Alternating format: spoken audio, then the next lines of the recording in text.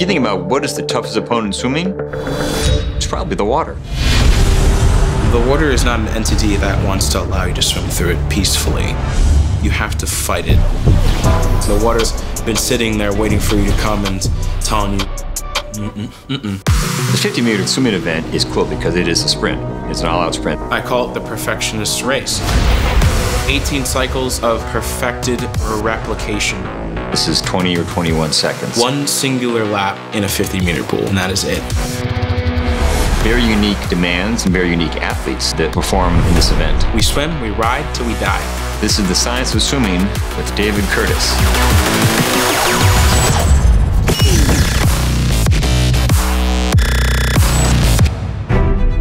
I'm Scott Rodeo. I'm an orthopedic surgeon at HSS. My specialty is orthopedic sports medicine. I was a competitive swimmer growing up and swam all through high school and college. I swam at Stanford University, and that's what led me to be interested in and pursue sports medicine.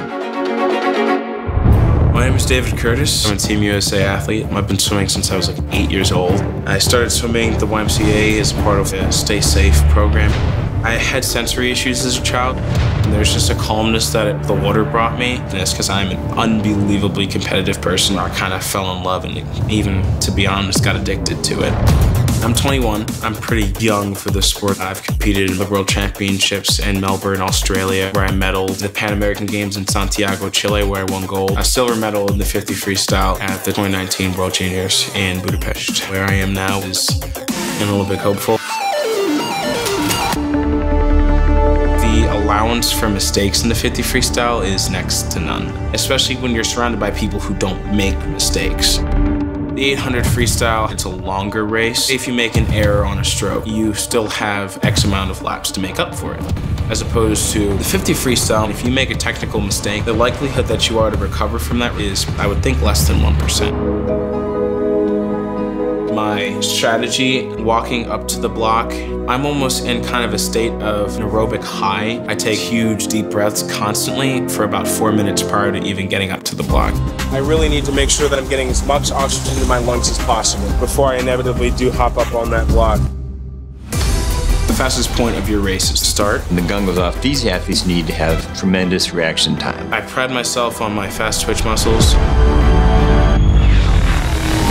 These are cat-like reflexes. Gotta have a fast reaction time. This is your type 2 fast twitch muscle fibers. When that gun goes off, your goal is to be as clean and efficient and powerful as possible. To get out in front and stay in front. Because if you're behind in the 50 freestyle, it is almost impossible.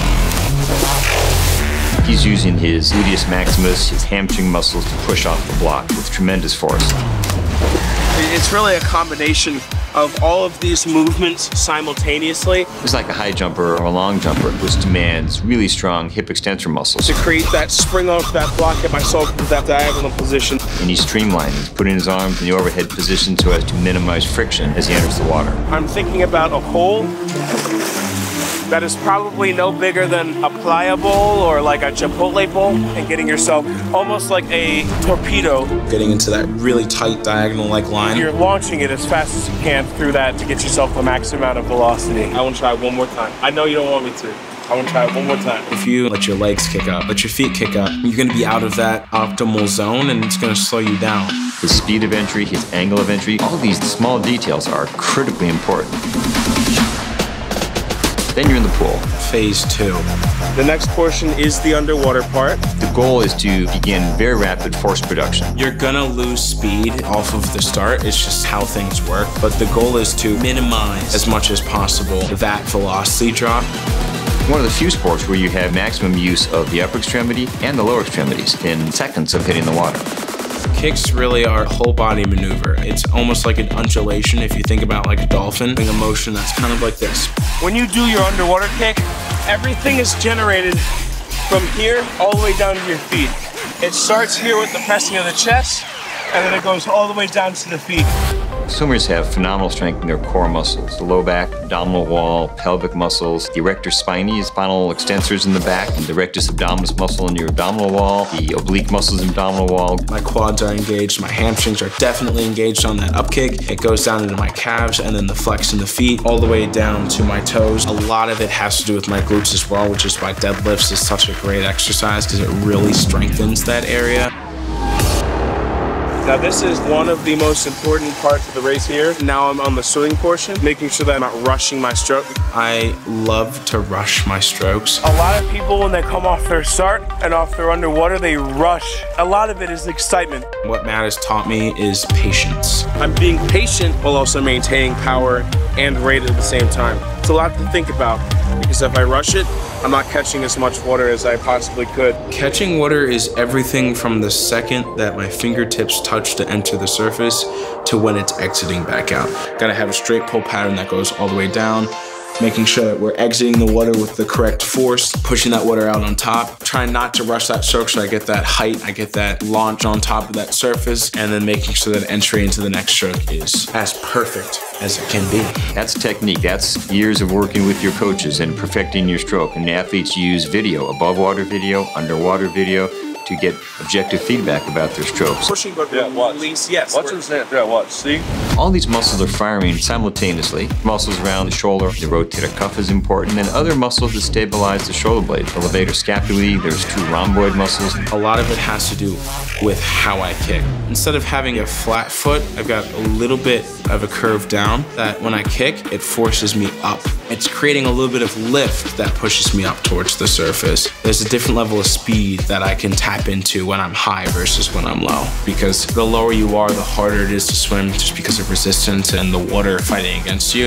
As the athlete goes faster, the resistance to the water goes up much quicker. So maybe for every 1% increase in speed, the resistance to the water goes up like 4%. So it's a logarithmic increase. Our next step is going from the 25 to the 35. That's where I die. It's really the time where you need to persevere the most, simply because that's where you start to hit that panic stage.